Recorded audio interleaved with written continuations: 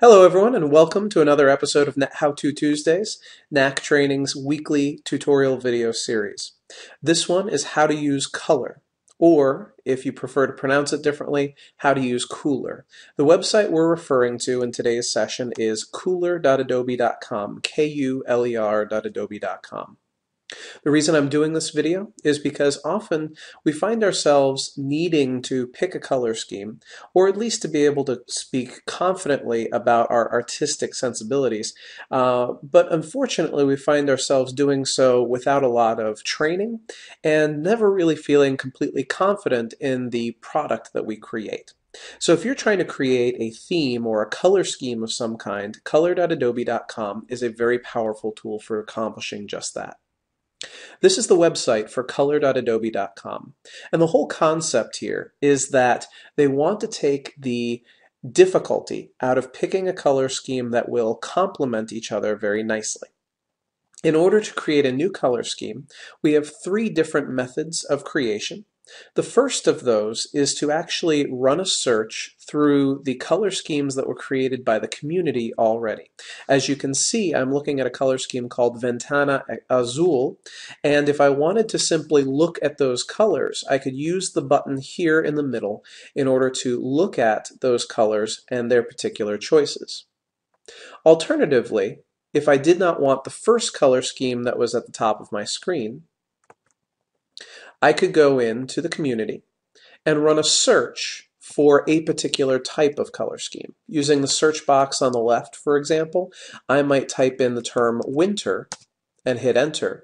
And a variety of different color schemes that other people invented that were based off of this winter idea would come up.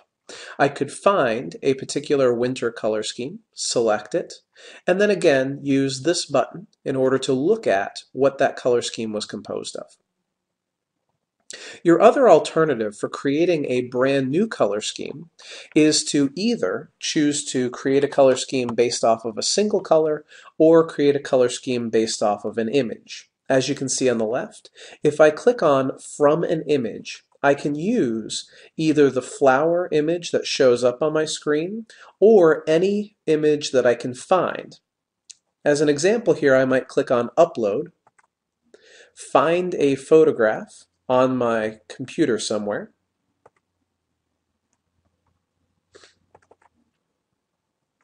And if I wanted to, for example, use this lighthouse picture, by choosing a picture of a lighthouse, I'm creating something that has a very beachy aesthetic, and you can see those pale blues, those oranges and browns that a beach scene gives me. Not only can I upload this picture, but I can also choose these different varieties on the same color scheme. A bright color scheme, a muted color scheme, a deep, darker color scheme, for example. And so uploading a picture is a very easy way of creating a color scheme that's very pleasant and one that reminds you of a particular feel because it comes directly from a photograph of that particular type of setting. Another alternative is to click on From a Color. When you choose From a Color, it allows you to pick at first from the color wheel whatever color you like. I might pick this pale blue color, for example. And then all you have to do is choose the rule for how the other colors complement the first one. By choosing a particular variety of this color scheme, I'm able to create a full-fledged color scheme with multiple shades and then simply use this to insert into whatever element I want. Now in scrolling to the bottom of the screen, I see that each color that I look at has a variety of different number values, and this can be uh, fairly confusing for people. So I want to go ahead and take some of the difficulty out of this.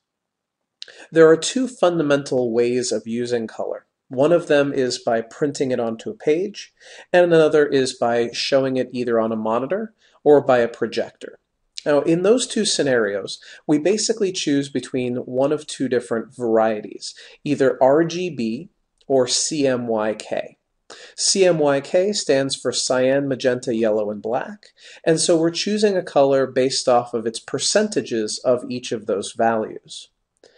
By contrast, when we decide to show something on the monitor or project it on a screen, we're going to choose a combination of colors that are composed of red, green, and blue values. Regardless of whether you use the CMYK numbers or, or the RGB numbers, you're still given the same color. It's just re represented in different modes. As you can see from this illustration, RGB and hex are the same idea.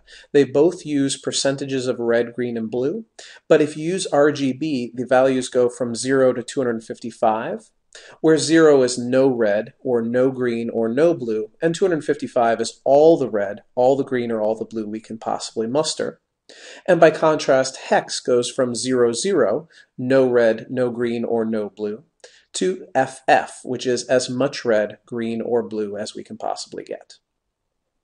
All we do then is go to whatever system is relevant to us. In this particular instance, in this particular instance, we can go into Microsoft PowerPoint, take these RGB number values, simply put them into PowerPoint, and get the same exact color to come out.